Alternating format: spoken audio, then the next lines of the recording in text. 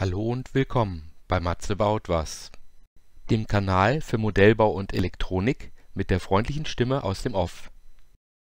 Aufbau eines U-Boot-Modells Teil 2 Der Kolbentank In diesem Video zeige ich euch, wie der Kolbentank aufgebaut wird und wie er funktioniert.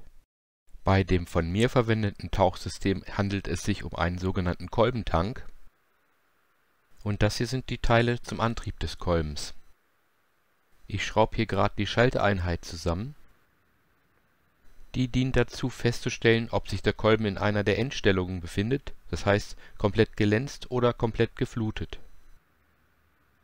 Ich benutze hier Mikroschalter mit Umschaltkontakten.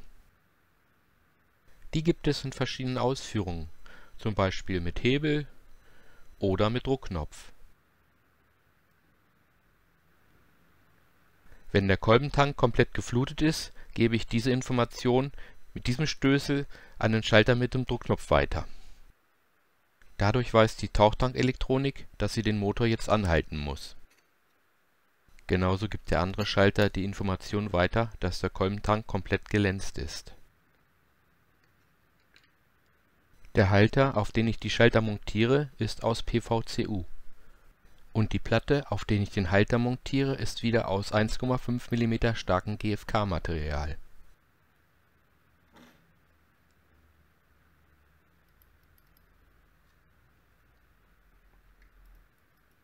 Dieser Getriebemotor liefert bei 12 Volt ca. 300 Umdrehungen pro Minute. Mit den beiden Zahnrädern im Hintergrund reduziere ich diese Drehzahl nochmal auf 150 Umdrehungen pro Minute in das große Zahnrad habe ich in die Mitte ein M8er Gewinde geschnitten. Das hat eine Steigung von 1,25 mm. Damit komme ich auf eine Kolbenverfahrgeschwindigkeit von ca. 3 mm pro Sekunde. Diese Leiterplatte hat mehrere Funktionen im Kolbentank. Zum einen dient sie dazu, alle Informationen an die Tauchtankelektronik weiterzugeben, das heißt zum einen die Schalterstellungen, zum anderen werden die Umdrehungen des großen Zahnrades registriert das passiert mit Hilfe eines Hall-Sensors. Ein Hall-Sensor ist ein elektronisches Bauteil, das Magnetfelder registrieren kann. Die Kabel, die ich hier durch die PVC-Platte durchfädle, verbinden die Mikroschalter mit der Leiterplatte. Die zweite Funktion der Leiterplatte kann man erkennen, sobald sie an ihre richtige Position gebracht ist. Und zwar muss sie das Kugellager in seinem Sitz fixieren wenn der Kolbentank gelänzt oder geflutet wird, entstehen Kräfte an diesem Kugellager. Beim Länzen wird es in seinen Lagersitz gedrückt und alles ist im grünen Bereich. Beim Fluten jedoch wird es aus seinem Lagersitz herausgezogen und das muss unter allen Umständen verhindert werden. Das genau macht die Leiterplatte. Hier sieht man die kleinen Magneten, die in das Zahnrad eingelassen sind, damit der Hall-Sensor die Umdrehung registrieren kann und mit diesem Distanzring aus Teflon wird der richtige Abstand zwischen Zahnrad und Hall-Sensor sichergestellt.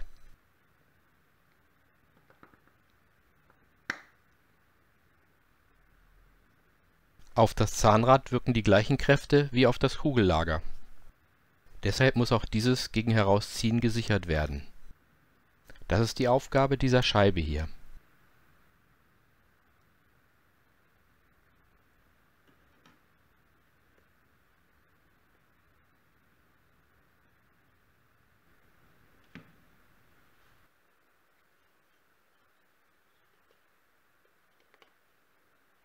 Um die beiden Baugruppen zu verbinden, muss ich die Schalterkabel noch durchfädeln.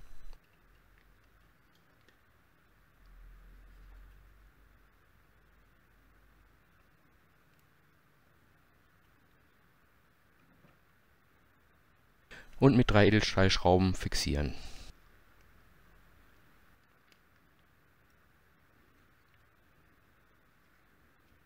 Hier prüfe ich noch, ob der Schalterstößel freigängig ist. Notfalls müsste ich die beiden äh, Platten nochmal gegeneinander ein bisschen verschieben. Der Stößel wird mit einer Feder in seiner Ausgangslage gehalten und hier schraube ich noch eine selbstsichernde Mutter auf.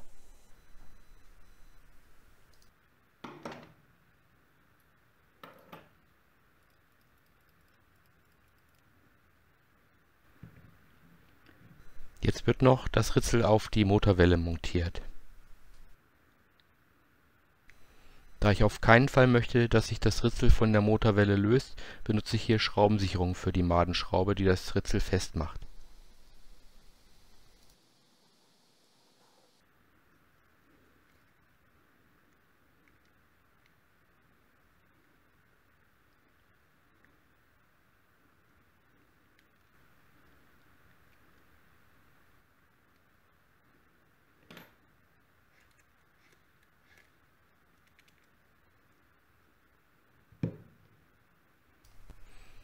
Hier trimme ich die Schalteranschlusskabel auf die korrekte Länge.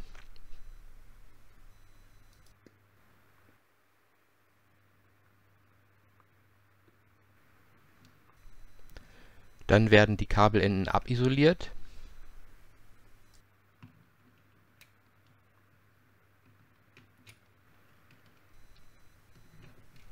und verzinnt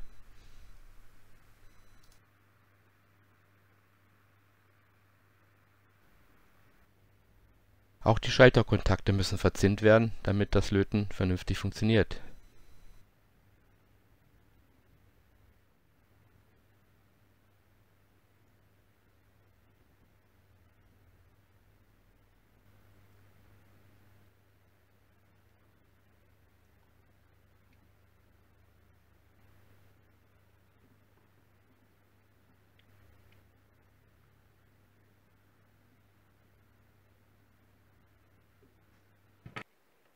Mal sehen ob alles funktioniert. Zum Testen schließe ich die Steuerelektronik für den Tauchtank an und versorge den Motor.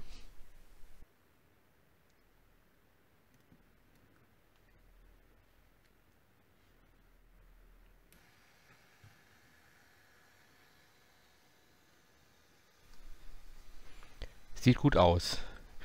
Keine unangenehmen Geräusche vom Getriebe und die LED blinkt im Rhythmus, wie die Magneten an dem Hall-Sensor vorbeikommen. Das hier ist die Gewindestange zum Antrieb des Kolbens.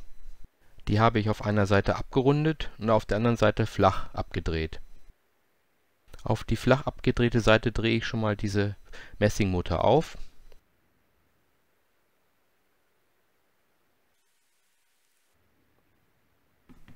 Der Kolben ist zum Abdichten mit einem O-Ring versehen.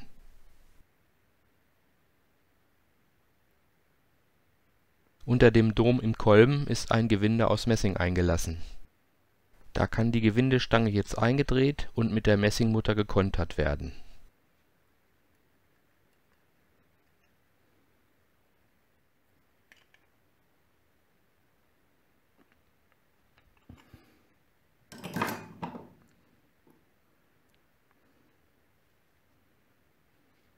Hier setze ich den Kolben in die Antriebseinheit ein und hier kann man sehen, wie die Gewindestange einen der Endschalter betätigt.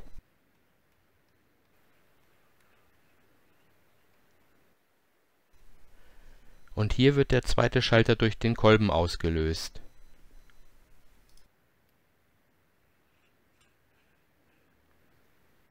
Aus diesen Teilen baue ich den hinteren Verschluss des Kolbentanks die hintere Deckelplatte hat eine Mulde genau da, wo der Dom vom Kolben ist. Damit möchte ich erreichen, dass möglichst wenig Wasser im Kolbentank bleibt, wenn er komplett gelänzt ist. Die GFK-Platte wird auf die PVCU-Platte geschraubt. Das hier ist ein 90 Grad Winkeladapter. Hinter der Deckelplatte des Tauchtanks ist nur wenig Platz im Boot Deswegen möchte ich den Schlauchanschluss gewinkelt anbringen.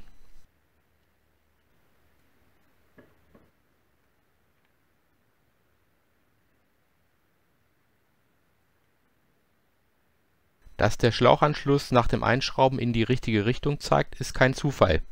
Ich hatte das halb fertiggestellte Winkelstück schon mal eingeschraubt und mir dann die richtige Richtung markiert.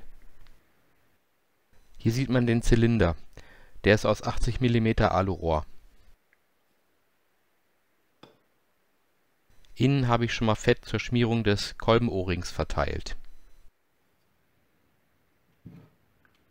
Den Kolben setze ich schräg ein, damit das Fett, was ich hier vorne verteilt habe, auch auf dieser Seite bleibt. So habe ich dann Fett auf beiden Seiten des Ohrings.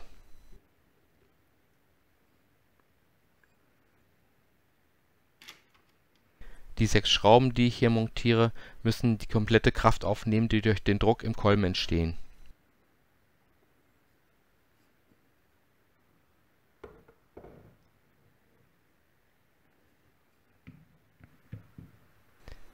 Ja, die Zeit ist gekommen, um den nächsten Test durchzuführen.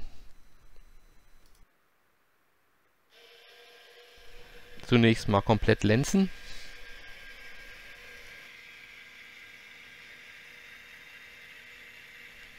Und dann wieder fluten.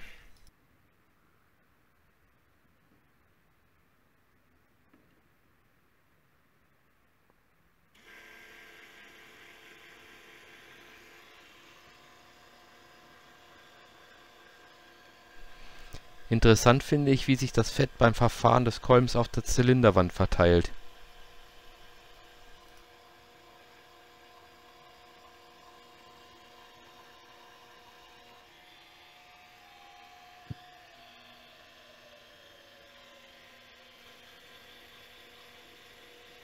Wenn komplett geflutet ist, wird der Endschalter betätigt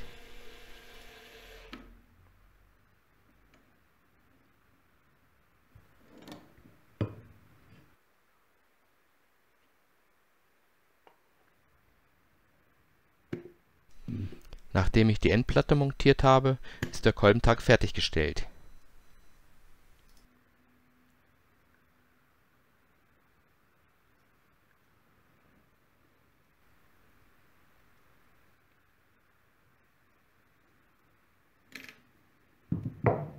Jetzt kann endlich ein Test mit richtigem Wasser erfolgen.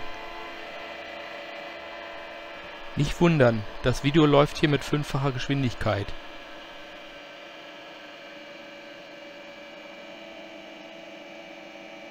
In dem Messbecher sind ca. 800 ml Wasser. Theoretisch fasst der Tauchtank 725 ml. Auch das Lenzen wird hier wieder im Zeitraffer dargestellt.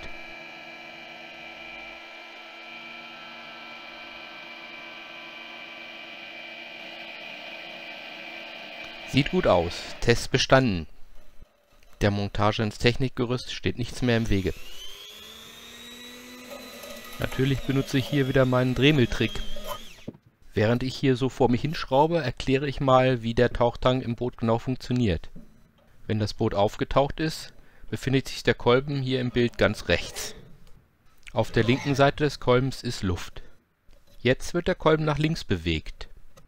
Die rechte Seite des Kolbens ist ja über Schläuche mit dem Wasser verbunden, in dem das Boot fährt.